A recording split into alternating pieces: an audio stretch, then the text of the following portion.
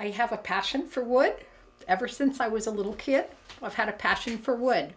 I've pretty much done all aspects of the industry from some logging, working in sawmills, and I have my master's degree in forest genetics, so wood comes natural to me. So when I moved to next door, a guy who'd been turning wood for 60 years, it was a natural that I start hanging out at his shop. And then of course I had to start buying equipment. So here I am. It's a little shop, but it's all mine. And this is where I play whenever I have a chance. So this is a piece of wood that I've just started, but you can't see the business end of it. Kind of the first thing you do, this is the foot. So when I first put a new piece of wood on the lathe, I have to turn a foot on it and that's how you grasp the wood for subsequent work. Here's a piece that's now in the chuck. The foot was right here. This is the chuck. It goes on the lathe. The foot secures it in the chuck. You put it on the lathe and the lathe spins it. This will become a salad bowl about 10, 11 inches in diameter. You can see right now that it's not shaped well. It's pretty much just a big old piece of wood. But once you form it, curve the back, take the middle out, it'll be a beautiful bowl.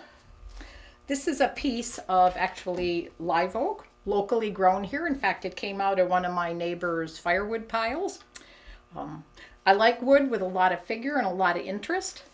This has, well, I could call it natural bark, except the bark is gone, but it still has a natural top edge. And that's sort of my signature that I really enjoy wood with a natural edge. Um, this has a bunch of cracks and wormholes, and that's kind of my favorite wood. There are some turners who really like a piece of clear wood to turn. I kind of like it when it's got a lot of interest.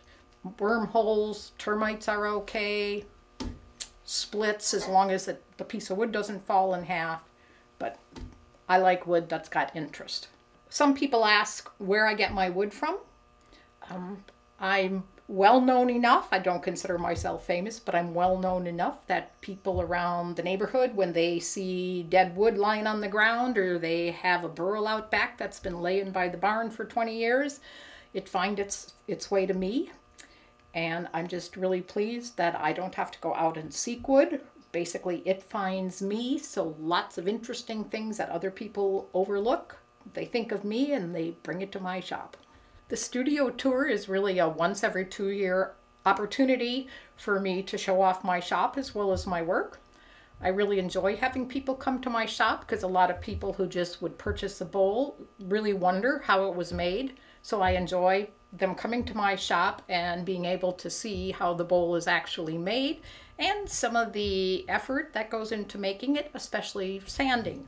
Most people have no idea how much time I spend sanding. I never thought I would end up in California or Three Rivers, but I came to a place in my life where finding a job was imperative, and I started looking for jobs in California.